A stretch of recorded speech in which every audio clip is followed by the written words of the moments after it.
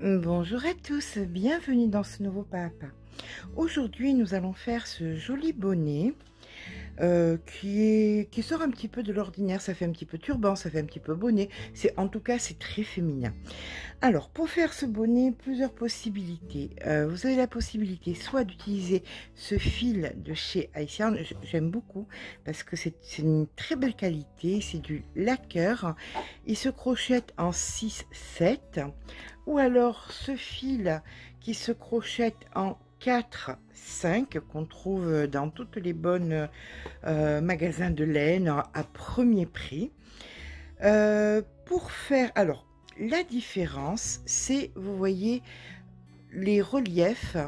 Là, c'est plus fin, là, c'est un petit peu plus grossier. Donc, si vous voulez un bonnet euh, plus marqué, vous pouvez utiliser ces laines qui se qui sont en 6-7 et si vous voulez quelque chose de plus fin vous pouvez utiliser ces laines qui se crochettent en 4-5 euh, après au niveau des tailles au niveau des tailles tout simplement si vous voulez une taille si vous avez une petite tête je vous conseillerais la 4-5 crocheté en 4 et demi.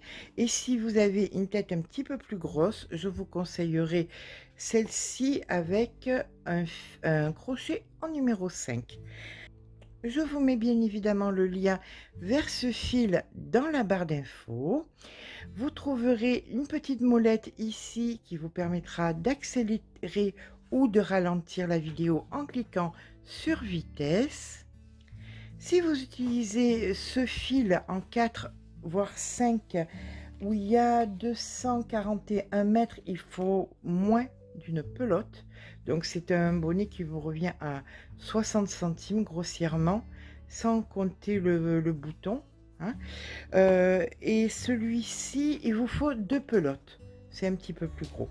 Voilà, et eh bien écoutez, nous on va le faire avec le, gros fil parce que vous verrez mieux qu'avec le petit fil, c'est plus facile.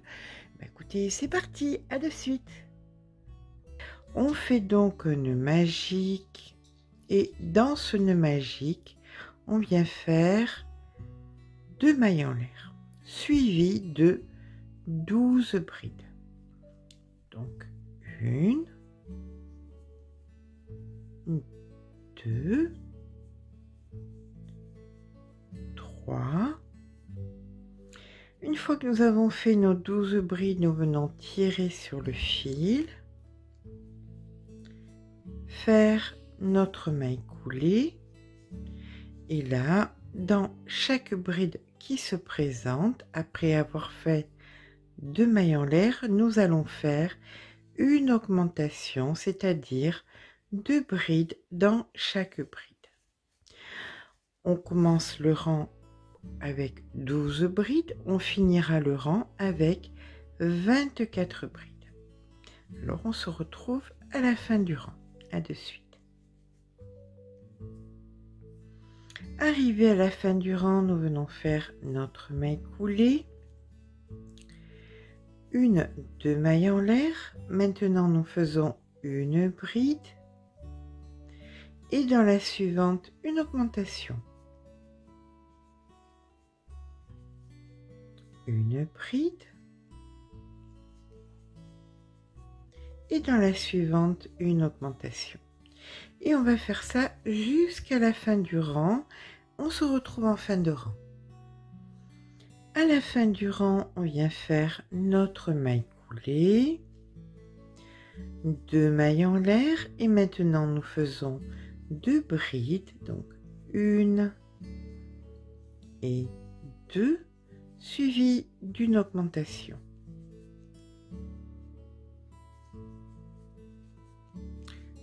Une bride, une seconde bride, suivie d'une augmentation.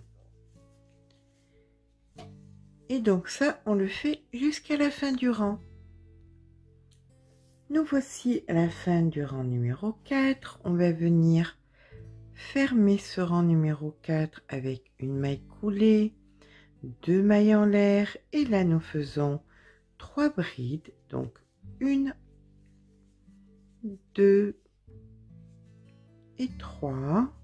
et comme précédemment, suivi d'une augmentation.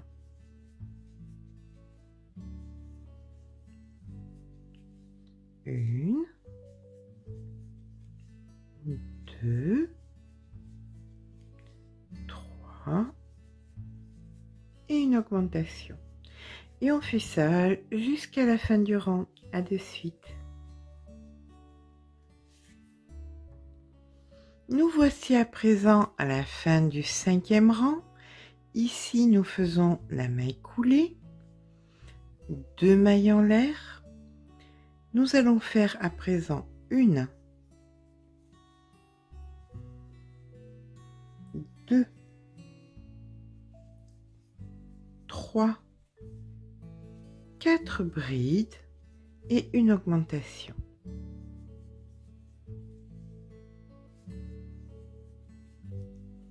Une, deux, trois, quatre brides. Et une augmentation. On fait ça jusqu'à la fin du rang. Donc voilà, quand nous finissons le sixième rang, on vient faire notre maille coulée une, deux mailles en l'air.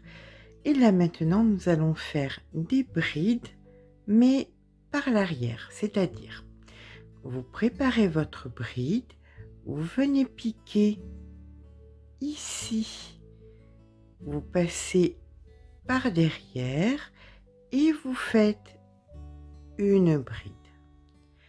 Vous préparez votre bride, vous passez par l'arrière vous faites votre bride. Une dernière fois, vous préparez votre bride, vous passez par l'arrière et là vous faites votre bride. Et ça, vous allez le répéter jusqu'à la fin du rang. On se retrouve en fin de rang. Donc voilà, une fois que nous avons fait notre premier rang en maille arrière, on vient faire ici la maille coulée, deux mailles en l'air. Et maintenant, vous allez faire deux rangs supplémentaires, toujours en maille arrière. Donc, on va commencer le premier.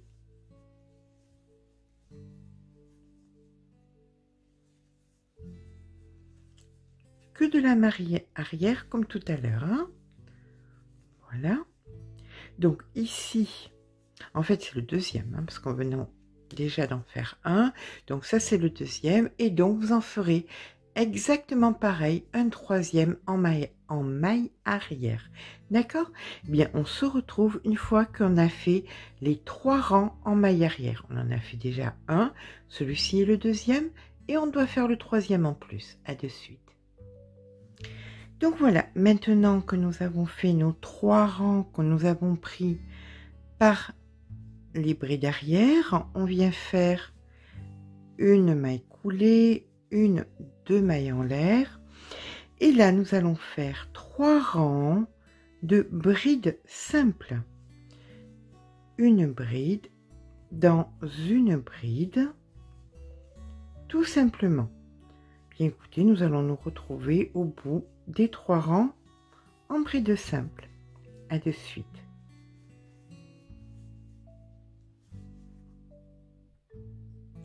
Voilà, là nous avons fini donc nos trois rangs en bride. Ce qui va se passer, c'est que déjà, vous allez l'essayer. Vous allez le mettre sur la tête et vous allez voir si vous êtes à l'aise, si ça va trop petit, si ça va trop grand. Si ça va trop grand, descendez le crochet d'un demi-point. Si ça va trop petit, augmentez le crochet d'un demi-point. Maintenant, ce que nous allons faire, c'est que nous allons refaire des rangs en bride par l'arrière et en bride.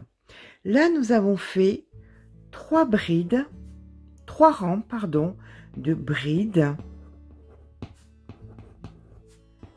par l'arrière. D'accord Ensuite, nous avons fait trois rangs de brides. Nous allons recommencer maintenant des brides par l'arrière.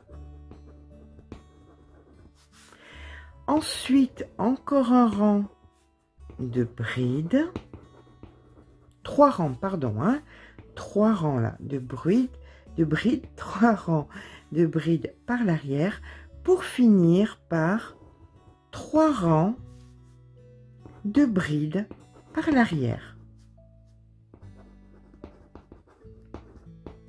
Donc, nous aurons au total 5 paquets.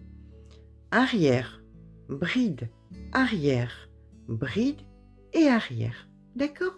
Bien écoutez, on se retrouve une fois que nous avons fini ceci. Alors, je répète, si vous considérez que c'est trop grand, passez par exemple à un 4,5. Si vous considérez que c'est trop petit, augmentez à un 5,5. D'accord? Bien, on se retrouve une fois que c'est fait. À de suite. Et bien voilà, une fois que nous avons fini nos séries, euh, maille arrière, bride, maille, bride en maille arrière, bride, bride en maille arrière. On va venir ici faire du point écrevisse, donc c'est dans ce sens pour faire la finition de notre poney. Donc ici, nous allons faire une maille en l'air. On vient piquer, vous voyez ici dans l'espace, on fait un jeté et on fait un jeté. On pique dans l'espace précédent, on attrape le fil, on monte et on fait un jeté. Et on continue. On pique, on attrape le fil, on monte et on fait un jeté. On pique, on attrape le fil, on monte et on fait un jeté. Vous voyez, ça donne euh, ce joli petit point. Eh écoutez, ça, nous allons le faire sur la totalité du rang. Donc, on pique, on attrape le fil, on monte et on fait un jeté. On pique, on attrape le fil, on monte et on fait un jeté. Ok? Allez, on se retrouve en fin de rang. Et bien voilà, une fois que nous avons fait tout le rang en point écrevisse, vous voyez comme c'est c'est joli, ça fait une belle finition. Là, nous allons euh, faire un fil un petit peu long, on va dire une petite cinquantaine de centimètres. On coupe. On vient passer le fil ici à l'intérieur de la maille. Voilà, on tire, hop, délicatement, comme ceci. Là, maintenant, au bout de votre fil, vous allez mettre une aiguille à laine. Voilà, voilà. Et nous allons venir plisser le chapeau. Vous voyez, on va prendre le même, au même endroit. Donc, ici, nous allons prendre la maille ici, là, la maille ici, ici, toutes les mailles qui sont le plus près de, l'endroit où nous avons joint. Donc, la maille ici, ici la maille là. On vient passer là au petit bourrelet et on fait pareil. La maille ici, la maille là et là maintenant la maille ici. On va tirer, ce sera beaucoup plus simple. Hop, comme ceci. Voilà. Donc, nous disions, nous en sommes... Ah, c'est celle-là qui était... Euh, ne voulait pas se laisser faire. Allez, là, on la tire. On vient dans le dernier ici, toujours pareil, hein, près de là où nous recommencions les rangs. Donc ici, dans la maille là, et là, et ici, on ne l'oublie pas celle-ci. Voilà. Comme ceci. Maintenant, on va tirer et on va partir dans l'autre sens. On fait pareil, mais dans l'autre sens. Vous voyez, là, on prend la maille. Là, on prend la maille. Ici, on vient là, on prend la maille là. Comme ceci. Comme cela. Non, là, c'est pas bon. C'est de l'autre côté. Voilà, comme ceci. Comme cela. là, ici, là et là. Et là maintenant, on va tirer bien fort. Pas trop non plus, hein, n'oublie pas que c'est de la laine. Donc on va éviter euh, de tout casser quand même. Voilà. Vous voyez, ça fait cette forme-là. Donc, mais il faut quand même euh,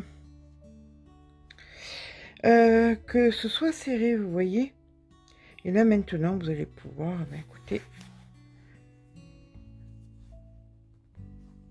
bien joindre voyez, pour que ça fasse comme ceci. Alors, vous pouvez faire plusieurs allers-retours pour être relativement tranquille maintenant que vous savez où ça doit se trouver.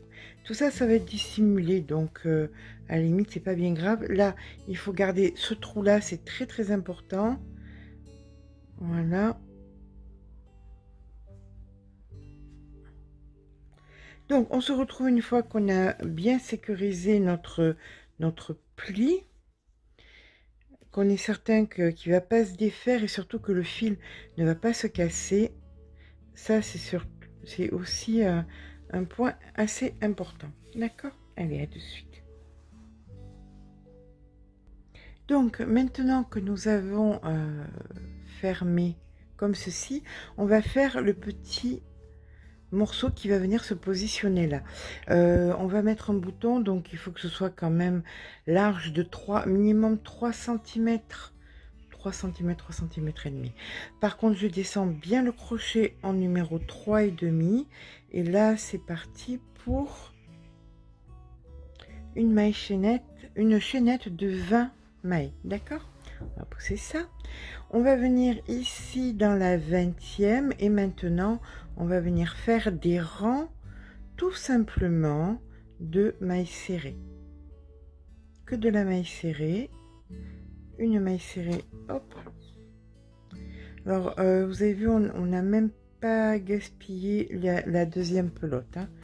Voilà, on a, c'est, on va dire, utiliser une pelote et trois quarts. Voilà. Donc là, on fait de la maille serrée, un rang sur un rang. Donc voilà, une fois que nous avons fini notre bande, voyez, c'est bien bien serré. Pour ma part, elle fait 5 rangs de 20 mailles serrées. Nous allons venir la mettre, alors on tire bien pour pas perdre. Voilà. Là, vous allez la positionner, vous voyez, et rester euh, ici le trou juste au-dessus de la jointure. Donc vous la passez, bon choisis le côté bas, c'est les mêmes. Donc voilà, on passe comme ceci à l'intérieur. Voilà. Maintenant, là, on va couper le fil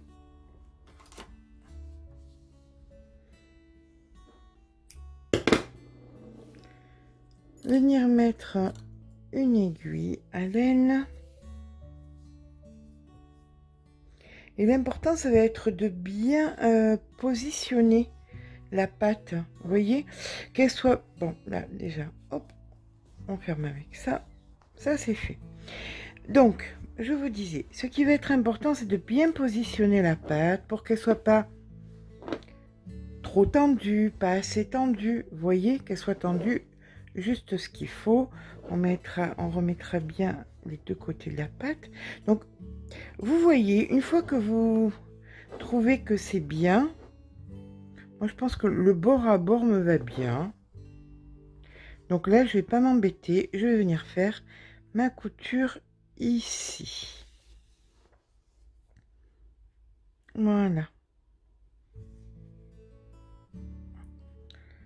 Sur je vais passer une ou deux fois quand même parce que toujours pareil, ça passe à la machine et je ne veux pas d'embêtement. Allez, on se retrouve une fois qu'on a cousu cette pâte. Voilà, une fois que la pâte est cousue, euh, vous pouvez mettre ce que vous voulez. Vous pouvez mettre, je sais pas moi, euh, des trucs brillants, ce que vous voulez. Moi, je préfère quelque chose de, de, simple, un bouton. Alors, c'est pas spécialement euh, pour mettre devant. Alors, si c'est pour mettre devant, vous pouvez le laisser comme ça. Vous pouvez mettre, euh, euh, je sais pas, une petite broche, que vous voulez. Mais pour mettre sur le côté de la façon dont je préfère, ça sera avec un bouton. Donc voilà, je vais mettre mon bouton ici. Donc voilà, pour moi le bonnet est terminé. Euh, je vais vous mettre la photo hein, euh, sur, euh, sur Imogène pour que vous puissiez voir ce que ça fait. Moi, je l'aime bien comme ça sur le côté. Ça donne, ça change un petit peu des bonnets classiques. J'espère que ce petit pas à pas vous aura plu. Si c'est le cas, eh n'hésitez pas à laisser un petit pouce en l'air parce que ça fait toujours plaisir.